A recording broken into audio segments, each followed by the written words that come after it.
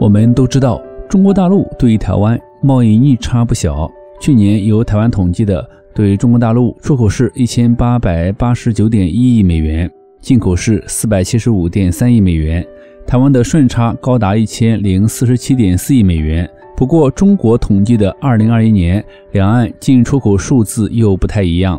二零二一年，中国对台湾的进口是两千五百亿美元，成长了百分之二十四点七。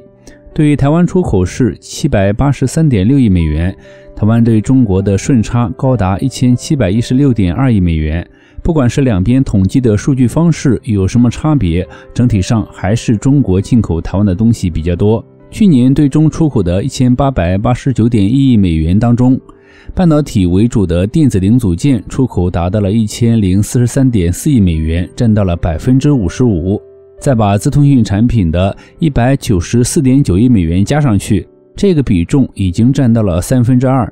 从这个结构来看，中国大陆出口的商品当中必须需要一些关键的零组件，在这方面，中国大陆是更需要台湾的。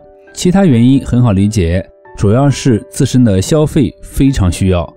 二零二一年中国出口排名企业，大家看到有这么多单位，他们的出口额是以人民币为计算的。第一名是富士康郑州，第二名是广达电脑，第三名是华为终端公司，第四名是富士康深圳，第五名是富士康成都，第六名是中国石化，第七名是昌硕科技，第八名深圳华为分公司，第九名明硕电脑，第十名中国石油。这前十名当中，台资企业占了多少呢？我不用说了。光富士康就三家，这还不算其他的，唯独中石化、中石油这类的资源型企业不依赖台湾。但我们都知道有一个现象，那就是中国所出口的产品的生产技术和生产工具，大多数的零组件以及芯片都是直接或者间接来自台湾的。这方面很多大陆人都已经忽略了。我们大陆人是不是有这种观点？那就是中国大陆是台湾的第一大市场，台湾极其依赖我们。其实，任何的贸易都是相互依存的，大家在其中获得应有的利益，不存在谁完全依赖谁的关系。硬要说依赖，至少大陆的出口是很难离开台湾的。所以，不要再说制裁台湾芯片之类的话了，不可能，也不存在讨论的价值。之前商务部仅仅对天然砂以及农副产品限制，其实这些短时间是会产生影响的，长时间来看效果也一般般。随着大家关注度的逐渐降低，制裁或者限制都会悄悄的放松，这要看消费者和生产者之间的供需关系有没有哪一方严重发生变化。另外，咱们都知道，中国是全世界最大的芯片进口国，全世界约百分之六十左右的芯片让中国人给买了。去年在全世界花了四点三二五亿美元，但芯片这一项也是中国进口额度最高的商品，其中台湾就占到了百分之三十四点七。大白话就是，您在这个世界上每买三张芯片，就有一张来自台湾。如果咱中国大陆完全不进口台湾的芯片，基本上中国整个电子产业会面临崩溃。那么很自然的就会有这样的问题：既然进口台湾的芯片这么多，那么我们什么时候能取代台湾，满足自己的芯片需求呢？说实话，即使台湾停滞几年不发展，芯片我们也追不上。目前谈不上取代，可能这话挺打击人的，但非常实在。为啥呢？很简单，有钱没用。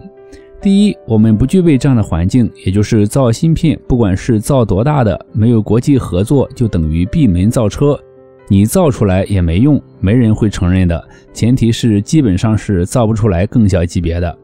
第二，我们的思想目前还不成熟，总想着靠芯片圈钱，弄个公司骗国家的补助，其实谁不知道谁呢？简单说一下，就是目前在中国大陆一些芯片企业，一切向前看。几乎没有例外，有例外的那只能是情怀了。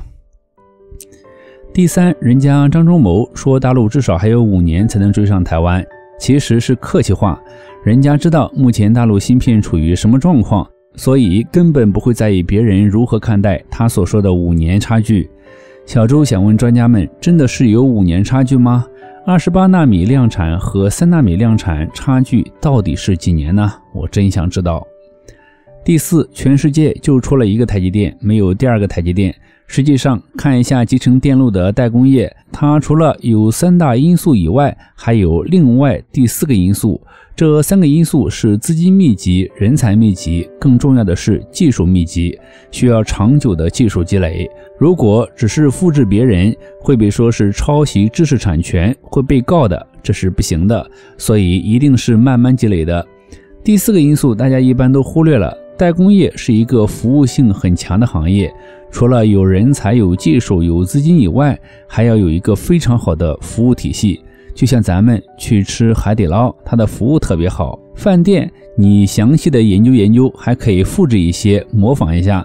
但是芯片企业是复制不来的，这是公司基因里面的东西和环境造就的，所以想要复制一个台积电可能性不大。但做个梦，创造一个新公司，超越台积电，可以瞬间实现，这是不是符合大家的逻辑呢？我想多数人都知道我在开玩笑。在网上有人说追上可能很困难，但可以灭掉啊！您看看这都是什么思想？追不上也不能灭掉人家，这不是霸道吗？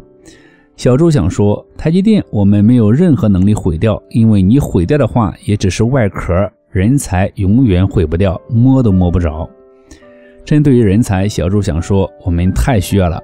中国大陆人才多不多？肯定多，但缺乏忠诚度，也就是大家有时候发展到一定阶段，安全感不足。钱能够管够你，但最后不一定是你的。有可能您发挥了你的才能，无暇顾及家庭和个人的身体健康，投身于研究和公司的发展中，最后你什么也得不到保障。说没有就没有，所以有忠诚度的人才和个人私有财产、个人报酬能得到安全保障的环境，是发展芯片产业乃至其他高附加值产业的基础。没有这样的土壤，基本上都是坏基础上盖高楼，结果可想而知。小周劝大家放弃追赶台湾的芯片，踏踏实实的搞教育、搞人才、搞环境吧。把环境搞好了，人才留住了，时间积累到一定程度，会有好的进展的。您觉得呢？好了，本期的视频就到这里了，我是小周，咱们下期不见不散。